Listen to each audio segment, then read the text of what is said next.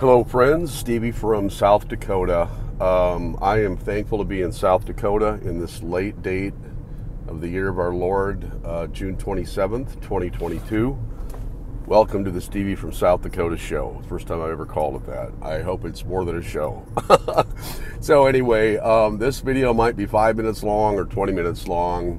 A lot of ground to cover. And um, maybe just I'll start off by saying that this is the first world war in the history of humanity wherein I would say 80 plus percent, probably more than that, maybe 90 plus percent of the people, number one, don't have any idea we're in a war. we're in a world war, but they don't have any idea we're in a war. And they don't have any idea who the enemy would be, even if they did say, yes, you're right, we're in a war for survival for humanity, okay? Now, if you're a biblical Christian, uh, none of this is surprising. I have been saved for 36 years and been talking about uh, these being the last of the last days, okay? And, um, you know, I used to say, you know, we're years, maybe a decade away, something like that. Now I say we are days, weeks, maybe months away. I'm honestly surprised I'm still here, that I haven't been raptured out of here. And I've talked a little bit about the rapture uh, in these videos if any of you are following it. If you're not, that's okay. I have to put it out there. So, God told Ezekiel, He said, If I tell you these things and warn you of what's going to happen to my people, and you don't give them the warning, God says the blood isn't going to be on their hands. Uh, you know, for the judgments that he visits on the people for their sin. He said, The blood's going to be in your hands, Ezekiel, uh, because I warned, told you to warn them, and you failed uh, to fulfill the mission of your being a prophet. So I certainly don't claim to be a prophet, but I do have the gift of prophecy and I have the gift of discernment. Those are gifts given to me. It's nothing to boast about. Uh, Paul talked about boasting in the Lord. So there you go. If I'm going to boast, it's going to be boasting in the Lord. Told somebody the other day, I said, you know, before I got saved, when I was 26, I got saved. I was the biggest loser anybody I've ever known in my life, and I, I was going to make a joke after that and say, now I'm just a partial loser. So that's partially true. I'm a partial loser, but I'm a saved partial loser. And there's nothing better than that, um, other than being a complete uh, saved person, which I know once uh, the rapture happens or my death, I know upon that I will be in heaven with a new mind, new heart, new body, and I can't wait because I still sin. And I know a lot of people that are really true believers in Jesus Christ. They've been born again they go, they, you know, they struggle daily. I mean, it's a daily struggle to walk in the light as He is in the light, as Jesus in the light. Anyway, let's get back to less important things because the most important thing is the gospel of Jesus Christ. If you believe in your heart and you confess with your mouth that Jesus Christ was raised from the dead, thou shalt be saved. But you got to believe it in your heart. You can't just say, "Yep, I believe Jesus died and rose again for the dead. Now I'm saved." No, you have to believe it in your heart. I love how God just kind of ties you down to that. You know, he's not going to just let you make a false uh, confession slash profession and then be good to go and then just live a completely carnal life, uh, regardless and, and, without any um, respect to Jesus and his influence in your life, etc. So, um, but I think it's going to have to be a two part video. Um, so, the less important thing would be how, since the COVID 19 thing burst upon the scene in March of 2022, um, the world experienced a, I guess you'd say, its second Reichstag false flag event of the 21st century. The first one was 9 11.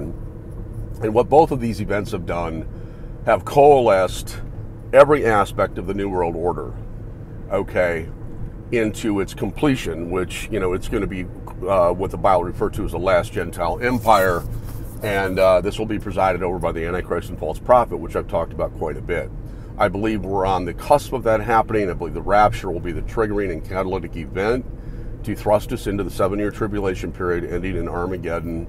And if you, uh, you know, even pagan goddess worshiper Al Gore said, um, said, said that uh, that, uh, and, and, this was, I think, over 10 years ago, he said this when things were much less defined, although very well defined too, but in terms of the signs of the last days. And Al Gore said uh, to read the daily headlines is like taking a nature hike through the book of Revelation. Well, a pagan goddess worshiper can acknowledge that these days are not only heady days, they're revelation days.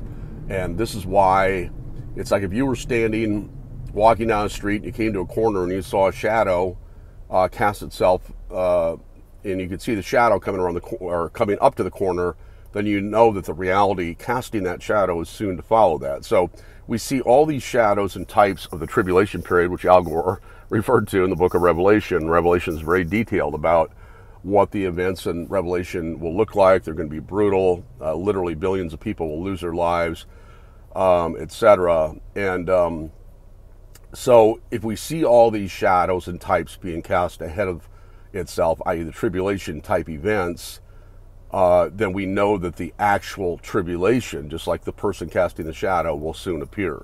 So we know the tribulation is around the corner. And like I said, I, I, honestly didn't think by now true Christians would be here. I figured they'd be raptured out of here, uh, and I would, you know, go with them. Uh, so every day to me is I'm just kind of like, part of me is like, Lord, what else do you want us to do other than just witness to people that, uh, you know, Jesus in Luke 21. If you read the whole chapter of Luke 21, uh, you will get really a beautiful and succinct synopsis of the times within which we live. It's remarkable. And I think it's Luke 21 36, right around there, where uh, he said, uh, he's referring to the time of God's wrath, which is the tribulation period. Okay, this is that wrath that God pours out on a wicked, unbelieving world, just like he did in the days of Noah. So a few people say, well, God's so cruel, he just wants to judge and kill everybody. No, he's given us all, as individuals, multiple, multiple, multiple chances to repent to turn our lives toward Him and to say, Lord, my life is yours. I'm a sinner. I need Jesus as my Savior. Okay, so nobody can say that, oh, they never heard the gospel, or, I mean, sure, there could be people in remote parts of the earth, but they're going to be judged according to the law written in their hearts, and that's very expressly and explicitly defined in Romans, uh, if you want to read about that. But for the most part, in today's world, most people, especially I know in, in, in the Western countries, have heard the gospel and we're accountable for that. So, this uh, tribulation event, which is, uh, it has to be around the corner because the shadow is here. We're seeing types and shadows in spades, okay, since 9 11 and then COVID amplified it many, many, many more times. And so now we are basically in what I call the suspension period. Uh, it seems like God has given us like, you know, the calm before the storm, okay? Like if you've been through a tornado, hurricane, whatever, there's this short-lived calm, maybe, I don't know, 10 minutes, 20 minutes, half hour, and then all hell breaks uh, loose. That actually happened to me this year again with a type of a straight line tornado event. Um, this is an eight minute video. I'm seeing this. Um, I'm going to stop here and pick up where I left off, and we're really going to get into it. And we're hoping that just as Paul described the Old Testament as the schoolmaster, so in other words, the Old Testament law is like the schoolmaster that leads us to Christ. Because when you look at the Old Testament and the law, nobody could keep it. The priests couldn't keep it. The prophets had a hard time keeping it, or couldn't keep it perfectly. I mean, they were the best, but they couldn't keep it perfectly. So the only way that we can be um, right in God's sight is to be 100% right. We can't do 99% of the law and then fail on 1%. That's not up to God's standard, okay, because God is perfect.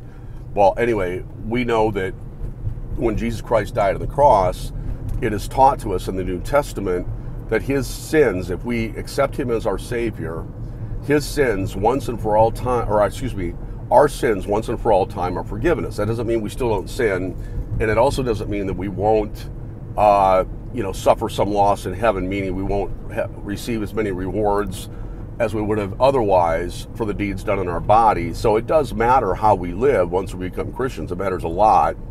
Uh, but but having said that, every true Christian that's been truly born again in Christ, uh, their sins for all time. In other words, we're made perfect um, dispositionally uh, for eternity, and of course, especially once we do go to heaven, then we are literally going to have sinless, perfect bodies like Jesus did. Jesus was the only sinless, perfect person that ever walked the earth because he was obviously God and man simultaneously, both 100%. Um, okay, here we go. 10 minutes. I better sign off. But I just had to little, lay a little bit of groundwork there and try to get the gospel out there in simple terms that most uh, can understand. Have a great one. I'll see you soon.